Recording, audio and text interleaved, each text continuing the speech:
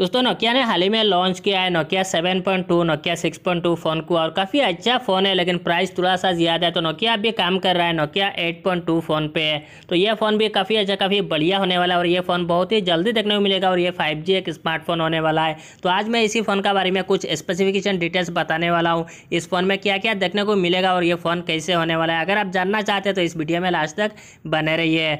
तो पहले दोस्तों, इसका डिस्प्ले का बात करें तो इसमें डिस्प्ले साइज़ दिया जाएगा। 6.3 इंचेस का full H D plus I P S L C D display इसमें दिया जाएगा और इसमें नोचोस कुछ भी नहीं होगा फुल व्यू डिस्प्ले होगा पॉपअप सेल्फी कैमरा का साथ में आएगा ये फ़ोन और इसमें गोरिल्ला ग्लास फाइव का प्रोटेक्शन भी होगा, लेकिन इसमें एमोलेड डिस्प्ले नहीं दिया जाएगा आईपीएस एलसीडी डिस्प्ले यूज़ किया जाएगा इसमें। और इसका परफॉर्मेंस प्रोसीजर का बात करें तो इसमें परफॉर्मेंस बहुत ही बेहतर मिलने वाला है। इसमें क्वेलकम का नया प्रोसीजर दिया जाएगा, जो क्वेलकम ने हाल ही में अनाउंस किया है। क्वेलकम का फाइव जी चिपसेट आने वाला है मिड रेंज स्मार्टफ़ोन के लिए। तो इसी प्रोसीजर को इसमें यूज़ किया जाएगा। Qualcomm Snapdragon seven thirty five octacore processor दिया जाएगा और ये फाइव जी इनबिल्ट होगा। इसमें फाइव जी दिया जाएगा। 5G के लिए अलग से चिपसेट लगाने का ज़रूरत नहीं है।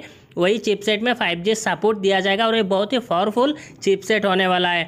और इसका क्लॉक स्पीड है 2.9 पॉइंट क्लॉक स्पीड पर चलेगा। और जीपीयू का बात करें तो एड्रोनो 618 जीपीयू दिया जाएगा।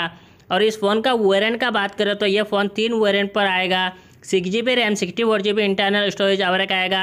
Four G B RAM, sixty four G B internal storage और एक आएगा eight G B RAM, one twenty G B internal storage का साथ में और भी वेरियंट आ सकता है, यह तो अभी कंफर्म नहीं है। और इसमें फोर हंड्रेड जी बी तक मेमोरी कार्ड एक्सपेंडेबल कर सकते हैं dedicated H D card slot मिल जाएगा। और इसका कैमरा का बात करें तो कैमरा में ज़्यादा इंप्रूवमेंट नहीं किया जाएगा कैमरा सेम ही होने वाला है, जैसे Nokia eight point one phone में दिया गया था Nokia eight point two phone में भी सेम कैमरा दिया जाएगा, जो प्राइमरी सेंसर होगा थर्टीन मेगा पिक्सल का।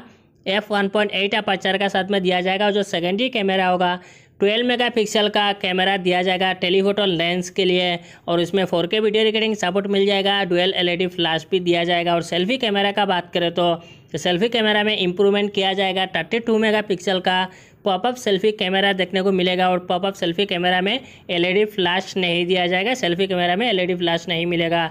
और इसका बैटरी का बात करें तो फोर थाउज़ेंड एम का बैटरी दिया जाएगा और फास्ट चार्जिंग सपोर्ट भी दिया जाएगा। एट्टीन वाट का फास्ट चार्जर होगा या फिर इससे ज़्यादा भी हो सकता है। फास्ट चार्जिंग कितना वाट का दिया जाएगा, इसके बारे में अभी तक पता नहीं है। और इसका ब्लूटूथ वर्जन का बात करें तो five point zero bluetooth version दिया जाएगा। और सिक्योरिटी फीचर का बात करें तो फेस अनलॉक तो मिल ही जाएगा और बैक साइड में फिंगरप्रिंट सेंसर दिया जाएगा। इन डिस्प्ले फिंगरप्रिंट सेंसर नहीं होने वाला है। और इसमें 3.5 point five M M audio jack भी दिया जाएगा और इसका नेटवर्क सपोर्ट का बात करें तो इसमें three G four G five G भी मिल जाएगा। इसमें फाइव जी भी एनेबल होगा। और इसका डिज़ाइन बिल्ड क्वालिटी का बात करें तो इसमें डिज़ाइन काफ़ी अच्छा काफ़ी बढ़िया दिया जाएगा। हमेशा की तरह नकिया फ़ोन में काफ़ी अच्छा डिज़ाइन मिलता है तो इसमें भी काफ़ी अच्छा डिज़ाइन दिया जाएगा और ग्लासिक फिनिशिंग दिया जाएगा गोरिल्ला ग्लास का प्रोटेक्शन भी दिया जाएगा बैक साइड में। और दोस्तों, इसका प्राइस का बात करें तो इसका प्राइस भी काफ़ी अच्छी होने वाला है। इसका प्राइस थर्टी फाइव थाउज़ेंड से स्टार्टिंग होगा। इसका प्राइस ये कन्फर्म नहीं है लिक्स का थ्रू पता चल रहा है। इसका जो प्राइस है, ये फाइव हंड्रेड डॉलर तक होने वाला है। Five hundred five hundred dollar से स्टार्टिंग होगा। Five hundred five hundred dollar को कन्वर्ट करें तो ये थर्टी फाइव थाउज़ेंड होता है तो थर्टी फाइव थाउज़ेंड से स्टार्टिंग होगा। ये कंफर्म नहीं है। और जो भी दोस्तों स्पेसिफिकेशन डिटेल्स बताई हूँ, ये कंफर्म नहीं है। लिक्स का थ्रू पता चला है, वही मैं आप लोगों के साथ शेयर किया हूँ। तो बस दोस्तों, ये था कुछ स्पेसिफिकेशन डिटेल्स नोकिया 8.2 फ़ोन का। आपको दोस्तों क्या लगता है, ये क्या जो भी स्पेसिफिकेशन डिटेल्स बताया हूँ, ऐसा ही ये फ़ोन होने वाला है, या फिर कुछ डिफरेंस होगा, आप लोग नीचे कमेंट करके ज़रूर बताना।